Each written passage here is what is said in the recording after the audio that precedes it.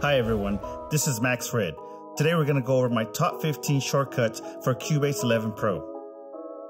Let's get started. Number one on the list is Command Scroll. I use this to zoom in and zoom out to make cuts or whenever I need to edit some MIDI.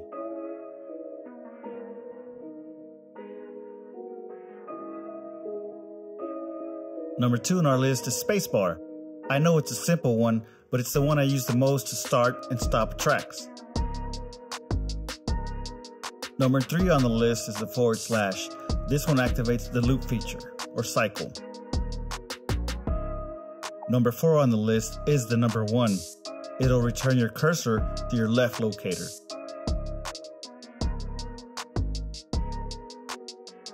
Next is C.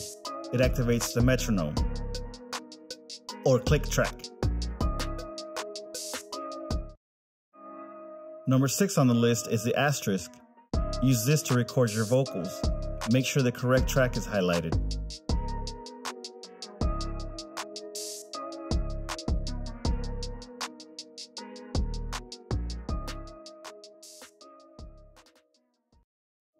Number seven, we use F3 to show our mixer console. There you can do your panning, and adjust your volume levels.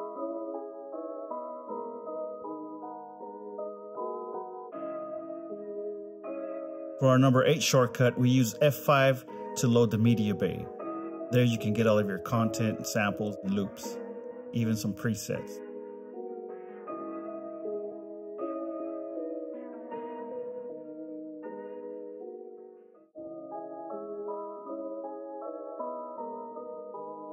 Our ninth shortcut is actually a double. We use F9 and F10 to select our cursor tool. You can select the scissors, the glue, eraser, or comp tool.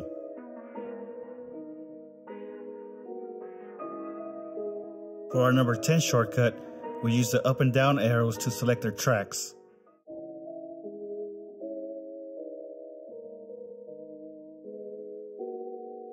After you select the track, you can use the S and the M to solo and mute audio.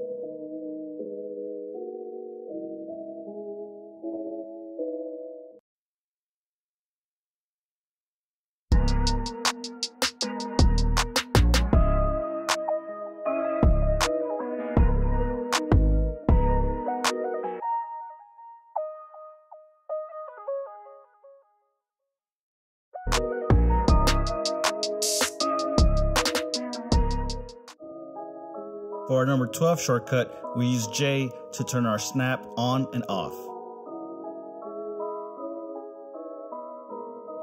For number 13, we're going to use a couple of shortcuts we've already learned.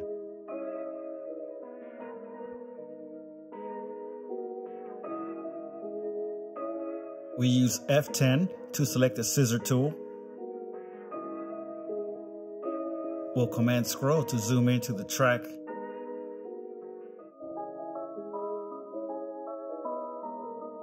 We'll make our cut. We make sure both sides of this track are highlighted. And then we hit the X to insert a crossfade.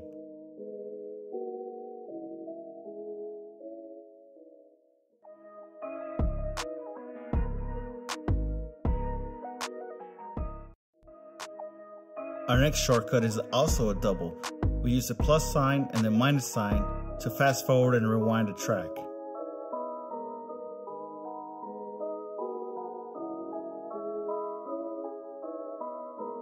Command S is our last and number 15 shortcut. I think it's the most important one because that actually saves all the work that you've done.